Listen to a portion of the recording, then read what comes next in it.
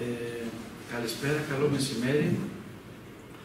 Ε, δυστυχώς λόγω του κορονοϊού έχουμε πολύ καιρό να τα πούμε διαζώσεις. Νομίζω ότι οι όλες οι εξελίξεις συνηγορούν ότι πολύ σύντομα θα επανέλθουμε στην κανονικότητα. Βάζουμε ως ε, ημερομηνία ορόσημο το Πάσχα, όπου πιστεύω ότι θα έχουμε την ευκαιρία να γιορτάσουμε με σχετική κανονικότητα τις ε, φετινές εορτές του Πάσχα. Τα θέματα τα οποία θα μας απασχολήσουν στη σημερινή συνέντευξη είναι τρία. Είναι τρία και είναι ορισμένα από τα οποία, για τα οποία έχω δεσμευτεί προεκλογικά και τα παρακολουθώ τακτικότατα, τουλάχιστον δύο-τρεις φορές το μήνα, ε, με τις ε, υπηρεσίες οι οποίες τα εποπτεύουν. Τα θέματα αυτά είναι η μελέτη του αρδευτικού παρολίου και οι εξελίξεις της, η εξέλιξη γύρω από αυτή, η μελέτη του αρδευτικού τριανταφυλιάς και εννοείται αφήνω τελευταίο το πιο σημαντικό, η μελέτη του δρόμου Φλόρινα Μιντέου για την ακρίβεια αμοχώρη ξινών. Ξεκινώ με το αρδευτικό του παρορίου. Και σε αυτή τη μελέτη είχαμε σημαντικές αποκλήσεις χρονικές, δηλαδή καθυστερήσεις χρονικές, στις οποίες βεβαίως συνέβαλαν και οι εξελίξεις γύρω από τον κορονοϊό, οι οποίες ε, αδρανοποίησαν σε ένα μεγάλο βαθμό ε, τις υπηρεσίες, αλλά από εκεί και πέρα συνέβαλαν και άλλα αίτια, τα οποία δεν είναι της παρούσης. Ειδικά για την μελέτη του αρδευτικού του παρορίου υπήρχε ένα πινκ-πονγκ ανάμεσα στο Υπουργείο και στην ε, Περιφέρεια, γιατί ε, ενώ υπήρχε η μελέτη ήθελε μια μικρή επικαιροποίηση και ένα μικρό εξυγχρονισμό. Καταρχάς και από άποψη χρημάτων για να γίνει αυτό ήταν πάρα πολύ λίγα. Εν πάση περιπτώσει, μετά από αυτή την καθυστέρηση, ανέλαβε το Υπουργείο να κάνει αυτή την επικαιροποίηση και αυτόν τον εξυγχρονισμό με κάποιον εξωτερικό συνεργάτη. Πριν από μια εβδομάδα ολοκληρώθηκε και γι' αυτό λόγο και καθυστερήσαμε κιόλας και τη συνέντευξη ολοκληρώθηκε. Αυτή τη στιγμή βρισκόμαστε στην ολοκλήρωση των τευχών δημοπράτησης.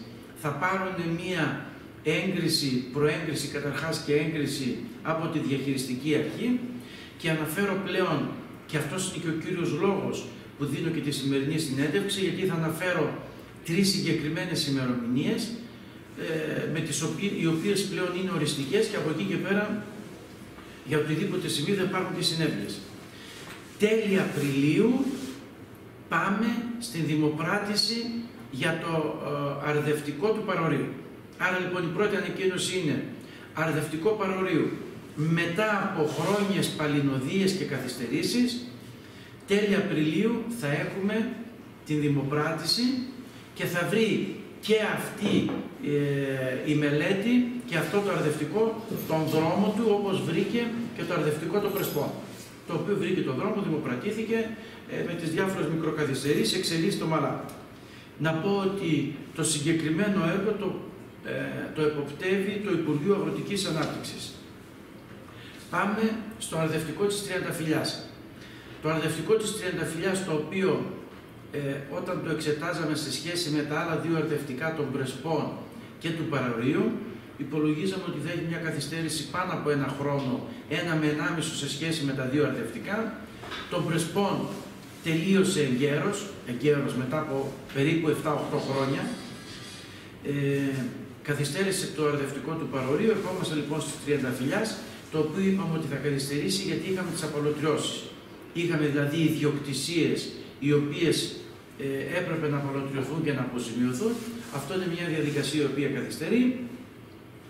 Ε, αυτή τη στιγμή ε, έχουν ολοκληρωθεί οι εκθέσεις των ορκωτών λογιστών, ε, έχουν εγγραφεί υποθήκες στα κτηματολόγια, μπαίνοντας στις ε, χρονολογίες και στις προθεσμίες και στις ημερομηνίες, λέμε ότι μέχρι τέλος του καλοκαιριού θα έχει οριστεί δικάσιμος, με το που οριστεί δικάσιμος, πριν ακόμα εκδικαστούν όλα αυτά τα οποία ανέφερα για να αποζημιωθούν οι ιδιοκτήτες, παράλληλα θα έχει προχωρήσει η υπηρεσία και στις δημοπρασίες. Άρα, αρχές Σεπτεμβρίου θα έχουν προχωρήσει και στη δημοπρασία του αρδευτικού δικτύου της ε, Τριανταφυλιάς. Το συγκεκριμένο έργο, την μελέτη και το έργο, εποπτεύει το Υπουργείο Υποδομών. Και έρχομαι στο τελευταίο έργο, είναι η μελέτη του δρόμου Φλόρινα Σαμιντέου. Για το συγκεκριμένο έργο απαιτούνταν περίπου 12 ε, συμβάσεις διαφόρων κατηγοριών. Οι πιο σημαντικές, όπως είναι αυτή της οδοποιίας, η πιο σημαντική, αυτή που είναι ο κύριος όγκος του έργου της μελέτης, ε, είναι σε εξέλιξη, έτρεχε εδώ και δύο χρόνια, ε, μαζί με αυτή των υδραυλικών, της σήμασης, της ασφάλισης και η περιβαλλοντική μελέτη. Αυτές όλες τρέχανε. Είχαν απομείνει μέχρι πριν από τέσσερις μήνες τέσσερις συμβάσεις. Αυτή τη στιγμή που μιλάμε, μέσα ε, Μαρτίου, όλες οι συμβάσεις είναι στον αέρα. Δηλαδή όταν λέω είναι στον αέρα, έχουν βγει για δημοπράτηση, έχουν ανατεθεί σε ιδιωτικές εταιρείες, εποπτεύουσα αρχή είναι η Εγνατία και ε, ε, εξελίσσεται πλέον ομαλότατα η μελέτη του έργου. Να πω ότι από τον Ιούλιο του 19 και μετά που ανέλαβε η Νέα Δημοκρατία είχαμε τρεις σημαντικές εμπλοκές για το έργο της μελέτης του δρόμου Φλόρινα Αμυντέου. Ξεμπλοκαρίστηκαν και οι τρεις. Αυτές οι τρεις εμπλοκές μας ε, δημιούργησαν καθυστέρηση πάνω από 8 με 10 μήνες. Παρ' όλα αυτά, να υπενθυμίσω ότι το, η μελέτη αυτή κόστιζε περίπου 3 εκατομμύρια, είχε μια πολύ μεγάλη έκπτωση της τάξης πάνω από 80% και τελικά με τα χρήματα του ενός εκατομμυρίου και κάτω που έχουν δοθεί θα μπορέσει να ολοκληρωθεί. Ε, ολοκληρώνεται λοιπόν και αυτή η μελέτη. Ε, έρχομαι τώρα στην χρονολογία στην οποία θα έχει τελειώσει. Η χρονολογία στην οποία θα έχει τελειώσει είναι ακριβώς σε ένα χρόνο από σήμερα. Δηλαδή στα μέσα Μαρτίου θα έχουν ολοκληρωθεί όλες οι συμβάσεις της μελέτης, θα έχει ολοκληρωθεί όλη η μελέτη, θα υπάρχουν μόνο δύο μικρές επισημάσεις με ερωτηματικό. Ε, η μία είναι η έγκριση περιβαλλοντικών, την οποία από το καλοκαίρι θα αρχίσουμε να κυνηγάμε για να τελειώσει την ώρα της. Και η δεύτερη είναι το κτηματολόγιο.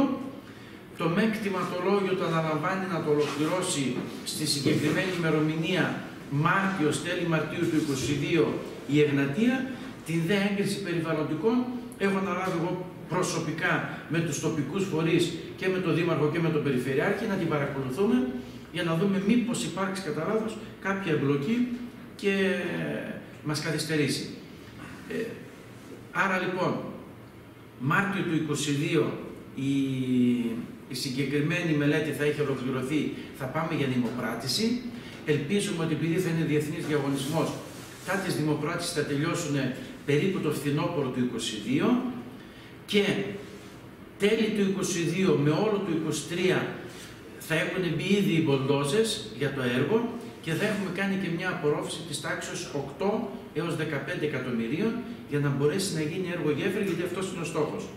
Έστω και με αυτή την καθυστέρηση πάνω από 2,5 χρόνια, αυτό το έργο έπρεπε να έχει δημοπρατηθεί ε, αρχές του 19 Τελικά πάμε δύο χρόνια πίσω. Εν πάση περιπτώσει πιστεύω ότι θα προλάβουμε το στόχο μας, θα γίνει έργο γέφυρα και στο έκτο ΕΣΠΑ θα ολοκληρωθεί. Αυτά τα τρία έργα, δεν βάζω άλλα έργα, είναι πολύ σημαντικά για μας. Ε, κάποια στιγμή για κάποια άλλα έργα θα ξαναμιλήσουμε.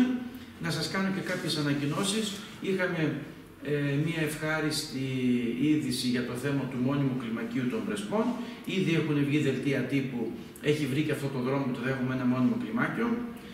Στην εβδομάδα που έρχεται με την κυρία Πέρκα, όπως είχαμε δεσμευτεί στο Συμβούλιο το οποίο είχαμε κάνει αυτό το θεσμοθετημένο άτυπο Συμβούλιο του νομού, στο οποίο συμμετέχουν οι δύο βουλευτές, οι δύο αντιπεριφερειάρχες, οι τρεις δήμαρχοι και κατά καιρούς ε, αναλόγως με το περιεχόμενο που έχει καλούμε εκπροσώπους ε, του Πανεπιστημίου και αναλόγως ποιοι άλλοι θα εμπλέκονται.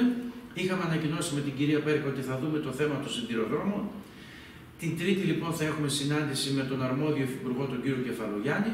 Θα είναι και ο πρόεδρος της ΕΡΓΟΣΕ, ο κύριος Κεφάλας νομίζω, έτσι λέγεται, και θα δούμε το θέμα του σχεδιασμού του σιδηροδρόμου. Και επίσης Την άλλη εβδομάδα περιμένουμε συνάντηση ε, σύσσωμη κοινοβουλευτική ομάδα της Νέας Δημοκρατίας, οι βουλευτές της Νέας Δημοκρατίας της Δυτικής Μακεδονίας μαζί με τον ε, Περιφερειάρχη. Θα δούμε τον κύριο Σκελακάκη για να δούμε ε, επιπλέον κονδύλια, ο στόχος είναι 20 εκατομμύρια, για να μοιραστούν στις επιχειρήσεις με έναν όρο όσες επιχειρήσεις έχουν ενταχθεί στα 40 εκατομμύρια της περιφέρειας; Ή στα 5 εκατομμύρια είναι αυτά που έχουν ε, έξοδα κάτω από 10.000 και πάνω από 10.000 αντίστοιχα τα 40 εκατομμύρια ή και όσες έχουν ενταχθεί σε αυτό το τριχίλιαρο που είναι της Κοζάνης, αυτές οι τρεις περιπτώσεις θα εξαιρεθούν από τα χρήματα τα οποία θα βγάλουν και θα πάρουν όλες οι υπόλοιπες, ο στόχος είναι οριζόντια, να πάρουν όλες από 2 έως 3.000, πιστεύω από 2 έως 3.000 για να μπορέσουν ε, να καλύψουν κάποια τρέχοντα έξοδα. Όταν θα έχουμε νεότερα θα συνημερώσουμε και από αυτό. Εάν θέλετε κάποια ερώτηση, είμαι στη διάθεσή σας. Κύριε Βουλευτέ, υπάρχουν κάποιες αντιδράσεις από τους εμπορικούς συλλόγου της περιοχής μας ε, σχετικά με την επιδότηση εντός εισαγωγικών που μπορούν να λάβουν είτε μέσω περιφέρειας είτε μέσω άλλων προγραμμάτων, όπως αυτό που ανακοίνωσε ο κ. Γεωργιάδης για το ποσό των 3.000 ευρώ. Ε, ναι. Θα ευνοηθούν τελικά οι δικές μας επιχειρήσεις ή θα μείνουν απ' έξω; Ωραία, να απαντήσω. Καταρχάς, ως προς το τριχίλιαρο που ανακοίνωσε ο κ. Γεωργιάδης, αυτό αφορά επιχειρήσεις οι οποίες ήταν κλειστές τις γιορτές του 20. Και τέτοιες ήταν η Κοζάνη και η Δυτική Αττική. Είναι τρεις δήμοι και της Δυτικής Αττικής. Άρα αυτό δεν αφορά τις δικές μας επιχειρήσεις. Δεύτερον, ως προς την επιστρεπτέα έχουν γίνει ανακοινώσεις και ήδη ανακοίνωσε ένα νέο πακέτο ο κ. Σταϊκούρας 2,5 δις. Είπαμε ότι από την πρώτη στιγμή είχαμε πει ότι δεν μπορεί να ανακοινωθεί για τις επιστρεπτές το ποσοστό το οποίο θα επιστραφεί ή δεν θα, δεν θα επιστραφεί, γιατί τότε είχαμε πρόβλημα με, το, με τις συγκρίσεις από την Ευρωπαϊκή Ένωση και, το, και με το δημόσιο χρέος. Ε, Είχαμε αφήσει όμως τότε ανοιχτό παράθυρο ότι όταν θα έρθει η ώρα της επιστροφής, τότε ένα μεγάλο μέρος από τις επιστρεπτές θα έχει χαριστεί. Και προς τα εκεί βαδίζουμε. Ανακοινώθηκαν λοιπόν τα καινούρια μέτρα, θα τα παρακολουθήσετε κι εσείς. Για τους δύο εμπορικούς συλλόγους, Αμυντέο και Φλόρινας, έχω να πω ότι από την πρώτη στιγμή το, το μεγάλο πρόβλημα δημιουργήθηκε όταν με τα 40 εκατομμύρια ακολουθήθηκε και από τη Δυτική Μακεδονία το ίδιο πρόγραμμα αυτό που ακολουθήθηκε και στην Κεντρική Μακεδονία. Εάν είχε προβλεφθεί και η οροφή δεν έμπαινε στις 40.000 αλλά έμπαινε στις 20 ή στις 15, από τις 4.700 αιτήσεις που είχαν κατατεθεί θα παίρναν τουλάχιστον 4.000 και θα μέναν πολύ λίγες απόξω και με αυτά τα χρήματα τα οποία ε, θα, θα βγάζαμε σήμερα εμείς, γιατί δεν είναι μόνο οι 5.000 επιχειρήσεις, οι επιχειρήσεις στη Δυτική Μακεδονία είναι περίπου 20.000 θα δίναμε και σε όλες τις υπόλοιπες. Δηλαδή, το φάσμα θα ήταν πολύ μεγαλύτερο. Να ενημερώσω όμως τους δύο προέδρους, τους οποίους θα δω αύριο και τους δύο προέδρους, και της Φλόρινας και του Αμυντέου, να τους ενημερώσω ότι από την πρώτη στιγμή τα 40 εκατομμύρια της περιφέρειας είχαν ξεκινήσει από 10. Και τότε με παρεμβάσεις όλο το βουλευτό της Νέας Δημοκρατίας και του Περιφερειάρχη, τα 10 γίναν 20, τα 20 γίναν 30 και μετά φτάσαμε στα 40.